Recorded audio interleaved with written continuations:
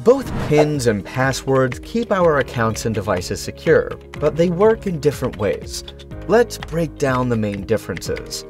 A PIN is a short code, usually ranging from 4 to 8 digits, used to unlock devices or access bank accounts. PINs are generally connected to a specific device, like your phone or credit card.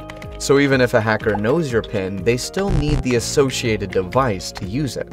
A password, on the other hand, is a combination of uppercase and lowercase letters, numbers, and symbols.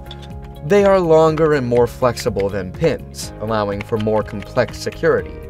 However, since passwords can be used across multiple devices and accounts, they are a bigger target for hackers, especially if they are easy to guess or reused.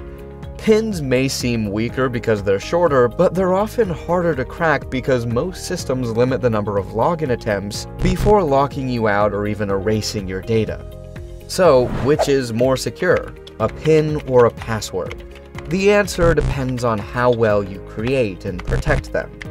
To secure your PIN, don't use sequential numbers like 1234 or your birthday.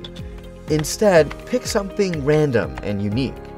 For passwords, make sure they are at least 16 characters long and combine random uppercase and lowercase letters, numbers, and symbols.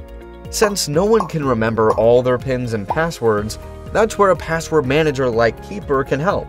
It stores and protects your credentials, so you don't have to struggle to remember them all.